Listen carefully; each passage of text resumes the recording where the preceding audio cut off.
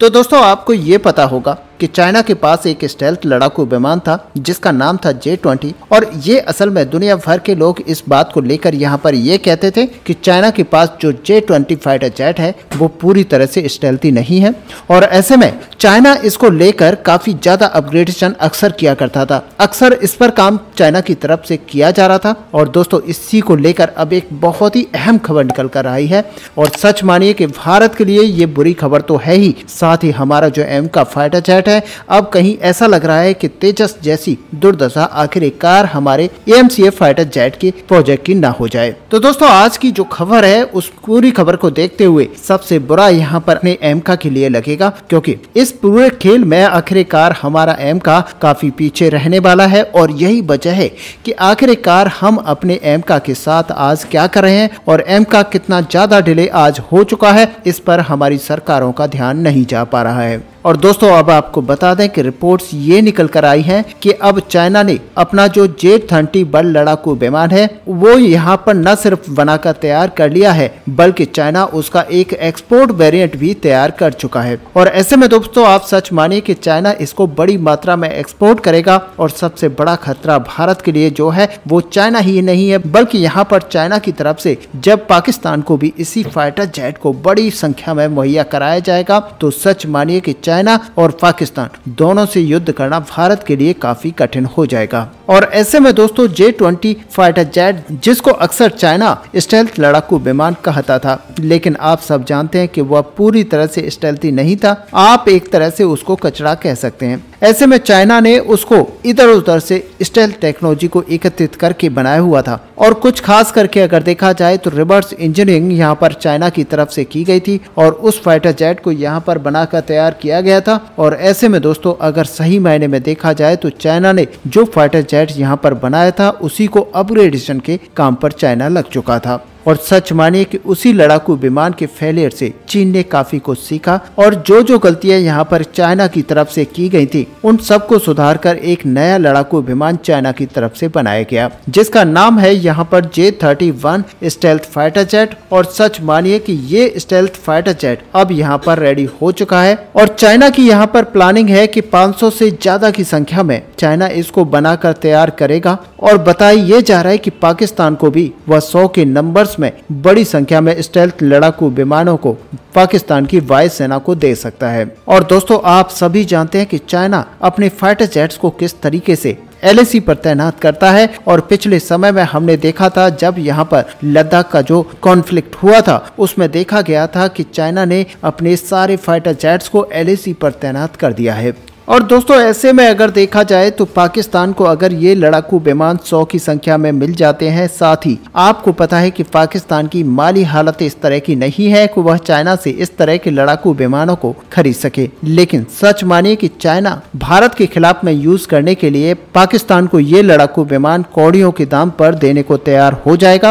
और इसमें कोई तो राय नहीं होगी कि पाकिस्तान को ये चाइना की तरफ़ से फ्री में भी दे दिए जाए। ऐसे में दोस्तों, आपको बता दें कि पाकिस्तान पाकिस्तान की वायुसेना यहाँ पर तुर्की के कान लड़ाकू विमान को खरीदने का प्लान बना रही थी और भारतीय रणनीतिकारों की तरफ़ से भी यही बताया जा रहा था कि किस तरह से पाकिस्तान यहाँ पर कान लड़ाकू विमान को आने वाले समय में खरीद सकता है। और दोस्तों, इसको आने में हमने कल ही एक वीडियो में बताया था कि किस तरीके से ये लड़ाकू विमान अपने प्रोडक्शन में दो तक जाएगा और ये बड़ी बात होगी, जब उनतीस में जाते जाते ये लड़ाकू विमान बड़ी संख्या में यहाँ पर बनकर तैयार होगा। क्योंकि यहाँ पर तुर्की की तरफ़ से दो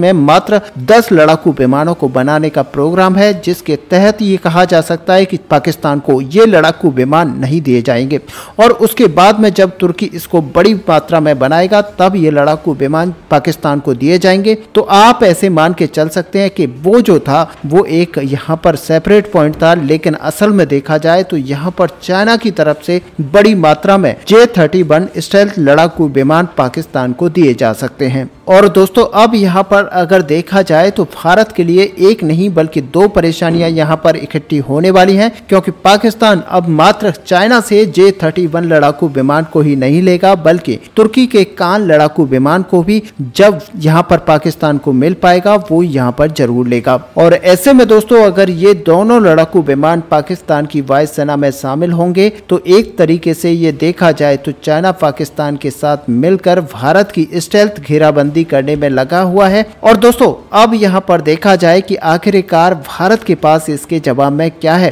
तो भारत के पास आज की डेट में देखा जाए तो कुछ भी खास नहीं है। और ऐसे में स्टेल्थ के नाम पर एक भी हथियार भारत के पास अभी मौजूद नहीं है। हालाँकि दोस्तों, आप में से कई लोगों का ये मानना होगा कि राफेल लड़ाकू विमान भारत के पास मौजूद है और मिग 29 है, मिग 30 है। तो दोस्तों, आपको बता दें कि ये लड़ाकू विमान स्टेल्थी नहीं है और ये नॉन स्टेल्थ लड़ाकू विमान है जो कि 4.5 जनरेशन टेक्नोलॉजी के साथ आते हैं और इन लड़ाकू विमानों को आसानी से डिफेंस सिस्टम के द्वारा ट्रैक किया जा सकता है और इन्हें मारकर भी गिराया जा सकता है। लेकिन दोस्तों, आपको बता दें कि स्टेल्थ लड़ाकू विमान को कोई भी एयर डिफेंस सिस्टम ट्रैक नहीं कर सकता और मारकर नहीं गिराया जा सकता। इनमें रडार एब्जॉर्बिंग मटेरियल लगा हुआ होता है, जिसकी वजह से ये रडार क्रॉस सेक्शन पर बहुत ही छोटी सी आकृति के रूप में दिखते हैं, जिससे कि इनको ट्रैक नहीं किया जा सकता। और दोस्तों, इसका फ़ायदा दुश्मन वकूफी उठाता है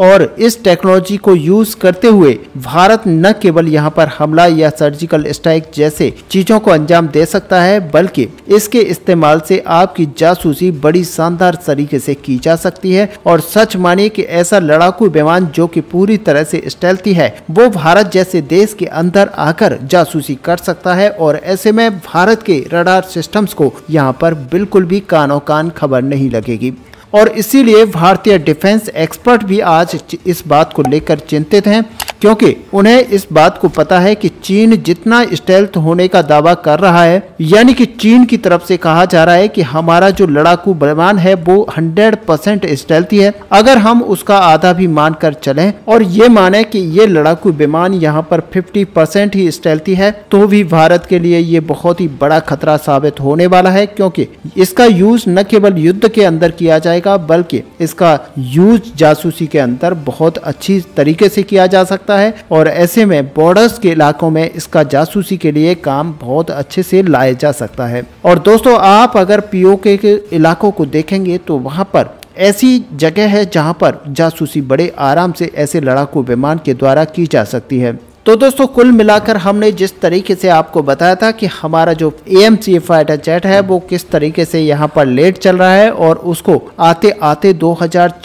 या फिर 36 तक भी लग जाएगा। और दोस्तों, ये भारत के लिए बहुत ही बड़ी परेशानी का सबब बनने वाला है, क्योंकि भारत स्टेट लड़ाकू विमान को लाते लाते बहुत ही लेट कर देगा, जिसकी वजह से हमने कल ही एक वीडियो में आपको बताया था कि अमेरिका की तरफ़ से एफ़ थर्टी लड़ाकू विमान को भारत में लाया जा रहा है। और ऐसे में माना यह जा रहा है कि भारत कुछ की संख्या में इन लड़ाकू विमानों को एक्वायर करने की तरफ़ आगे बढ़ सकता है। और सच मानिए कि आज भारत के लिए ये बहुत ही ज़्यादा ज़रूरी भी बन गया है कि भारत यहाँ पर कुछ की संख्या में स्टेल्थ लड़ाकू विमानों को अपने देश के अंदर, वायुसेना के अंदर इंडक्ट कराए, जिससे कि वायुसेना की यहाँ पर ताकत बढ़े और ऐसे में भारत अपनी सुरक्षा को लेकर इस बड़ी डील की तरफ़ बढ़ सकता है। और साथ ही दोस्तों, ये भारत के लिए बहुत ही अहम हो होगा कि भारत जल्द से जल्द अपने ए फाइटर जेट के ऊपर तेज़ी से काम करना स्टार्ट करे, जिससे कि हमारा फाइटर जेट जल्द से जल्द यहाँ पर बनकर तैयार हो। ऐसे में दोस्तों, इस पूरे टॉपिक को लेकर आपका यहाँ पर क्या व्यू है, आप अपना व्यू हमें कमेंट पर लिखकर बता सकते हैं। साथ ही अगर वीडियो आपको अच्छी लगी हो तो लाइक और शेयर करना ना भूलें।